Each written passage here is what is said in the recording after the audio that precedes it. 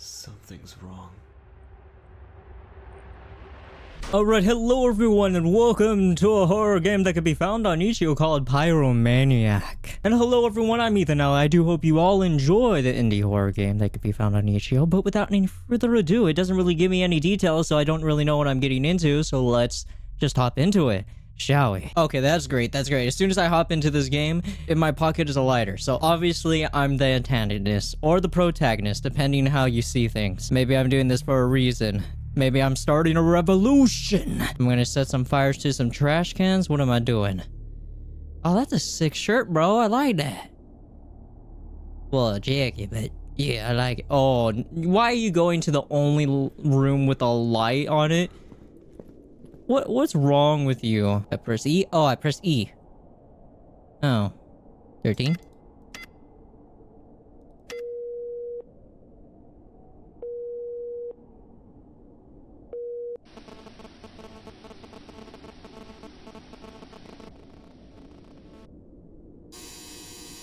Well, they just let a random person in? I... Okay. You never let a random person in. You never, never, never, never, never, never. I assume it's on the top floor, right? The room that's where we're going? Top floor? Because they are actually in that room? Because apparently you want witness- Well, the door's already open. That's kind of weird. Sure, though. What door is it? Is it this one? The weird looking one? No? It's this one? I don't need to go in there. I don't think that's the right apartment. This one? That one. We're in. Is this my apartment or is this someone else's? What the hell happened here? Oh no, you're the one breaking in. 13? I didn't know there was a 13 in the window, I just assumed. Something's wrong. Oh shoot, what the hell?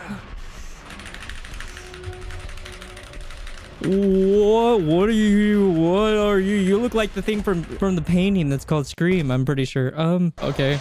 Round two. I'm ready this time. I'm ready. And get off me.